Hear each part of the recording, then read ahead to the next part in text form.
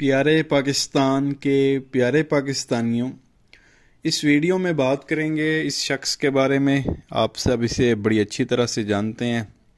नाम है इसका राना सनाउल्ला ताल्लुक़ इसका नून लीग से है। पाकिस्तान का मौजूदा वज़ी दाखिला इंटीरियर मिनिस्टर। प्यारे पाकिस्तानियों, आज इसे जो है वो जूता पड़ा है। ये हालात हो चुके हैं कि अभी ने जो है वो जूते पड़ने लग गए हैं। कोई, आप कह लें कि शर्म, गैरत हो इन लोगों में तो इन लोगों को फ़ौर इस्तीफ़ा दे देना चाहिए। ये साहब गाड़ी में बैठे हुए थे, कहीं जा रहे थे तो किसी ने जो है वो जूता उठा के जो है वो इनकी गाड़ी पे मार दिया।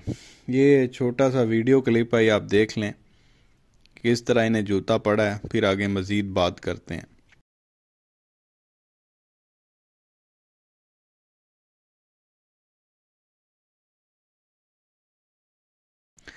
तो ये प्यारे पाकिस्तानियों, आपने देखा, पाकिस्तान के वज़ीर दाखिला इंटीरियर मिनिस्टर को जूता पड़ा है, उसकी गाड़ी पे जो है, वो जूता मारा गया है।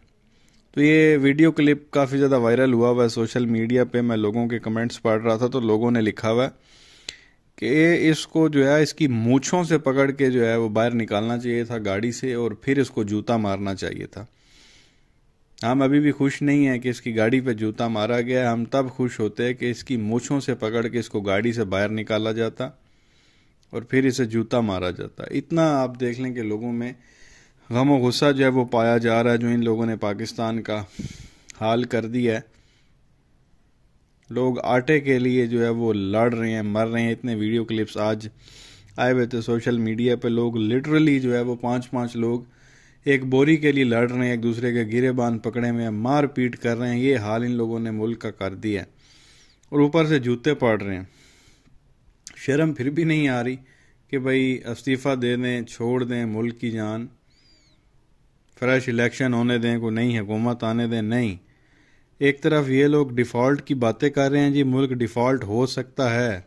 इस्तीफ़े फिर भी नहीं दे रहे। मान रहे हैं कि ये काम हो जाएगा, इस्तीफ़ा फिर भी नहीं देना। फिर भी जो है ये लोग चिपके में हैं, जान नहीं छोड़ रहे।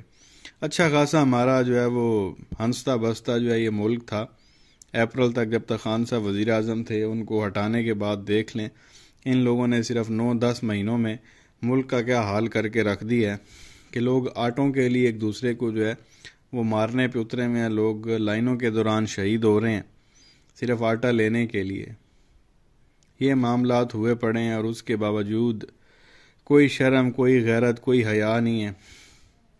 आज ज़बरदस्ती जो है ये पंजाब की जो असम्बली है, सूबाई असम्बली, वहाँ इन लोगों ने घुसने की कोशिश की है। राणा सनाउल्ला और इनका वो जो डेंटोनिक का है वो, क्या नाम है उसका, अता ताड़ड़, इन दोनों ने जो है वो ज़बरदस्ती पंजाब असम्बली में घुसने की कोशिश की तो वहाँ के गार्ड्स ने रोका। तो इन्होंने अपने गार्ड्स जो है वो बुलवाए वहाँ पे और जो सिक्योरिटी थी सूबाई असम्बली की वो और इनके गार्ड्स आपस में गुत्थम गुत्था और लड़ पड़े और ज़बरदस्ती ये पंजाब असम्बली में घुस गए और ऊपर से जूता भी पड़ गया।